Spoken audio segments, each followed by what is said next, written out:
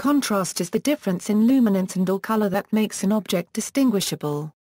In visual perception of the real world, contrast is determined by the difference in the color and brightness of the object and other objects within the same field of view. Because the human visual system is more sensitive to contrast than absolute luminance, we can perceive the world similarly regardless of the huge changes in illumination over the day or from place to place. The maximum contrast of an image is the contrast ratio or dynamic range. Contrast is also the difference between the color or shading of the printed material on a document and the background on which it is printed, for example in optical character recognition. Biological contrast sensitivity The human contrast sensitivity function shows a typical bandpass filter shape peaking at around 4 cycles per degree with sensitivity dropping off either side of the peak. This tells us that the human visual system is most sensitive in detecting contrast differences occurring at 4 cycles per degree, that is at this spatial frequency humans can detect lower contrast differences than at any other spatial frequency. The high-frequency cutoff represents the optical limitations of the visual system's ability to resolve detail and is typically about 60 cycles per degree. The high-frequency cutoff is related to the packing density of the retinal photoreceptor cells, a finer matrix can resolve finer gratings. The low-frequency drop-off is due to lateral inhibition within the retinal ganglion cells. A typical retinal ganglion cell presents a center region with either excitation or inhibition and a surround region with the opposite sign. By using coarse gratings, the bright bands fall on the inhibitory as well as the excitatory region of the ganglion cell resulting in lateral inhibition and account for the low-frequency drop-off of the human contrast sensitivity function. One experimental phenomenon is the inhibition of blue in the periphery if blue light is displayed against white, leading to a yellow surrounding. The yellow is derived from the inhibition of blue on the surroundings by the center. Since white minus blue is red and green, this mixes to become yellow. For example, in the case of graphical computer displays, contrast depends on the properties of the picture source or file and the properties of the computer display, including its variable settings. For some screens the angle between the screen's surface and the observer's line of sight is also important. Formula There are many possible definitions of contrast. Some include color. Others do not. Travnikova laments, such a multiplicity of notions of contrast is extremely inconvenient. It complicates the solution of many applied problems and makes it difficult to compare the results published by different authors.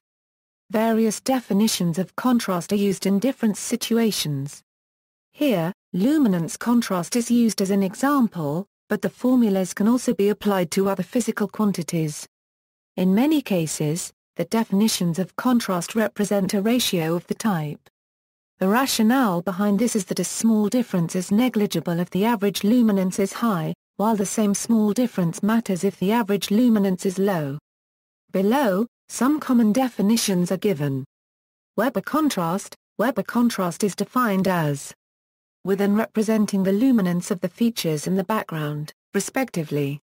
The measure is also referred to as Weber fraction since it is the term which is constant in Weber's law. Weber contrast is commonly used in cases where small features are present on a large uniform background, that is, where the average luminance is approximately equal to the background luminance. Michelson contrast Michelson contrast is commonly used for patterns where both bright and dark features are equivalent and take up similar fractions of the area. The Michelson contrast is defined as within representing the highest and lowest luminance. The denominator represents twice the average of the luminance. RMS contrast, root mean square contrast does not depend on the spatial frequency content or the spatial distribution of contrast in the image.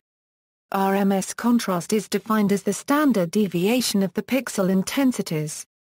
Where intensities are the THTH element of the two-dimensional image of size by is the average intensity of all pixel values in the image the image is assumed to have its pixel intensities normalized in the range. Contrast sensitivity Contrast sensitivity is a measure of the ability to discern between luminances of different levels in a static image. Contrast sensitivity varies between individuals, reaching a maximum at approximately 20 years of age, and at spatial frequencies of about 2 a Euro 5 cycles degree. In addition it can decline with age and also due to other factors such as cataracts and diabetic retinopathy. Contrast sensitivity and visual acuity Visual acuity is a parameter that is frequently used to assess overall vision. However, diminished contrast sensitivity may cause decreased visual function in spite of normal visual acuity. For example, some individuals with glaucoma may achieve 20-20 vision on acuity exams, yet struggle with activities of daily living, such as driving at night. As mentioned above, contrast sensitivity describes the ability of the visual system to distinguish bright and dim components of a static image. Visual acuity can be defined as the angle with which one can resolve two points as being separate given that the image is shown with 100% contrast and is projected onto the fovea of the retina. Thus, when an optometrist or ophthalmologist assesses a patient to Euro unregistered trademark S visual acuity using a Snellen chart or some other acuity chart, the target image is displayed at high contrast. A subsequent contrast sensitivity exam may demonstrate difficulty with decreased contrast to assess a patent Euro unregistered trademark S contrast sensitivity, one of several diagnostic exams may be used. Most charts in an ophthalmologist Euro unregistered trademark S or optometrist's office will show images of varying contrast and spatial frequency. Parallel bars of varying width and contrast, known as sine wave gratings, are sequentially viewed by the patient. The width of the bars and their distance apart represent spatial frequency, measured in cycles per degree.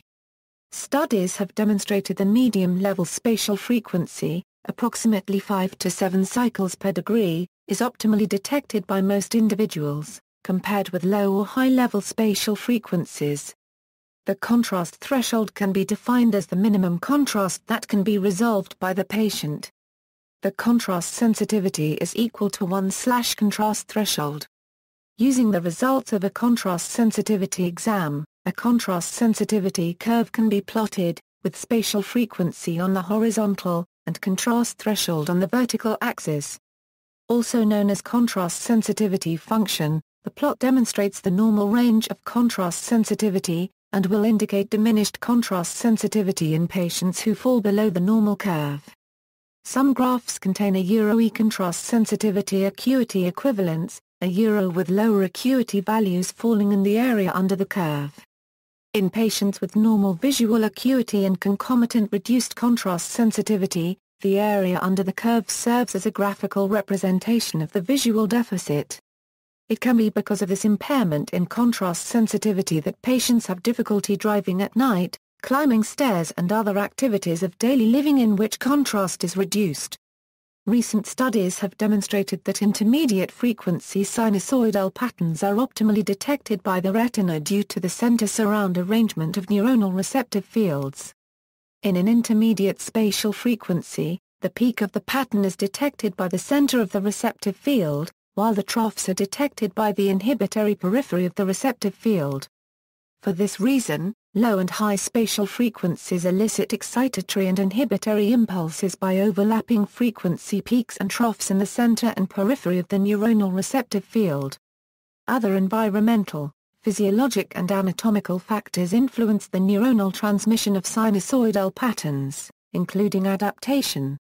Decreased contrast sensitivity arises from multiple etiologies, including retinal disorders such as age-related macular degeneration, amblyopia, lens abnormalities, such as cataract, and by higher-order neural dysfunction, including stroke and Alzheimer a Euro unregistered trademark S disease. In light of the multitude of etiologies leading to decreased contrast sensitivity, contrast sensitivity tests are useful in the characterization and monitoring of dysfunction, and less helpful in detection of disease. Improving contrast sensitivity, it was once thought that contrast sensitivity was relatively fixed and could only get worse with age. However new research has shown that playing video games can slightly improve contrast sensitivity.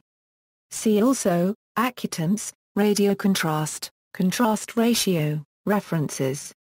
External links, details on luminance contrast.